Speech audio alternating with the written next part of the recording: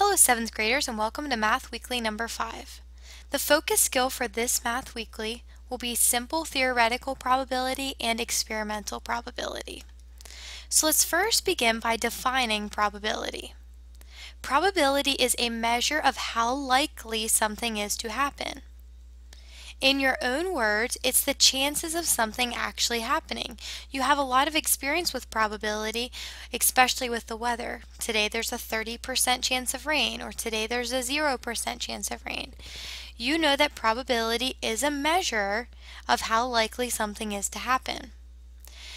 Probability ranges from zero, which means impossible or never capable of happening, to 1, which means certain or happening every single time. So for example, if I were rolling a number cube and I said, um, what's the chances of you getting a 10? You would say 0, it's impossible.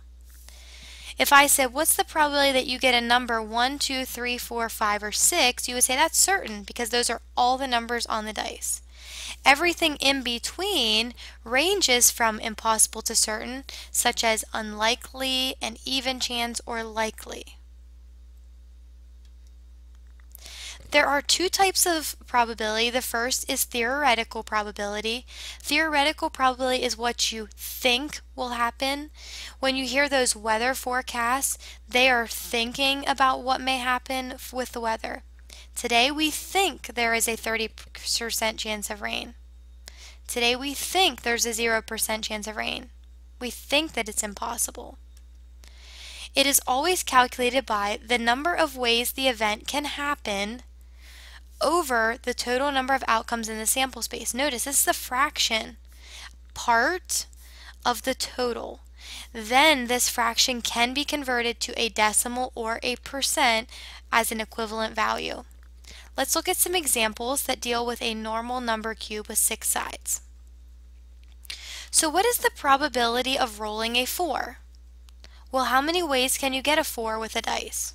There's only one number 4, so that's 1 out of 6. Like I said, you can divide this to get, I'm just getting us a, a calculator here to save time. You can divide 1 by 6 to get a decimal. So 1 divided by 6 is 0.166 or 0.17. So there would be about a 17% chance of you rolling a 4. Let's look at another example. What is the probability of rolling an even number? Well, how many even numbers are on the dice? There are 1, two, three. So there's a 3 out of 6 chance of rolling an even number. 3 6 is a, is a non-simplified fraction, so we can reduce that by 3 to get 1 half. There's a 1 half chance if you divide 1 by 2.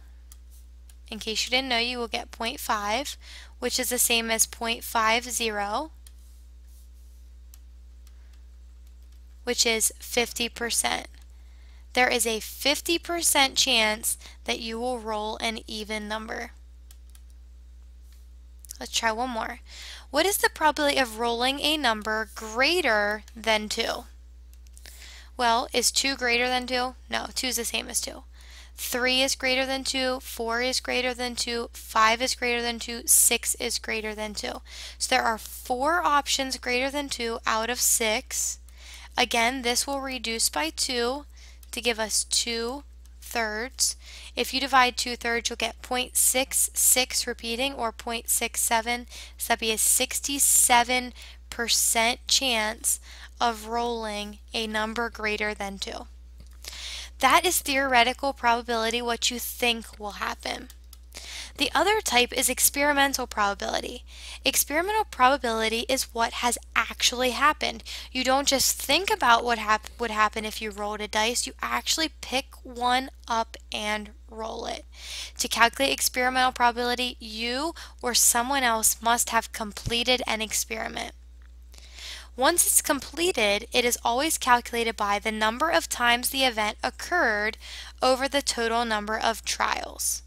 So if I rolled the dice 10 times, that would be the number of trials, And if I got a 2 five times, that'd be 5 out of 10. I got 2 five times out of 10. So it's just the same as theoretical in the sense that you get a fraction. It's just where you get the numbers from that's different. Theoretical is what you think will happen. Experimental is what has actually happened. So let's do an experimental probability example. Sarah rolled a dice 60 times. So we know that there's 60 numbers here. The following occurred. She got a 1 12 times, a 2 13 times, a 3 15 times, a 4 5 times, a 5 8 times, and 6 7 times. So what is the experimental probability of rolling a 1? Well, how many times did Sarah get a 1? Sarah got a 1 12 times out of 60. If you reduce that, which they both divide by 12, you get 1 fifth. There's a 1 in 5 chance of rolling a 1. And you could convert that to a decimal or percent if you wanted to. Sorry, I didn't mean to erase that. Let me undo that. There we go. Let's look at what's the probability of rolling a 4? Well, how many 4s got rolled? 5 times a 4 was rolled out of 60. Reduce that by 5, and we get 1 12th. A 4 happened 1 12th of the time. Let's try one more example. What is the probability of rolling a number greater than 4? Well, the numbers greater than 4 are 5 and 6. They happened 8 and 7 times. If we add those together, that's 15 times out of 60. 15 and 60 can both reduce by 15 to get 1 fourth. There's a 1 fourth chance of rolling a number greater than 4 in this experiment. So let's summarize what you've learned. You've learned there are two types of probability, theoretical, which is thinking about probability, and experimental, which is testing probability.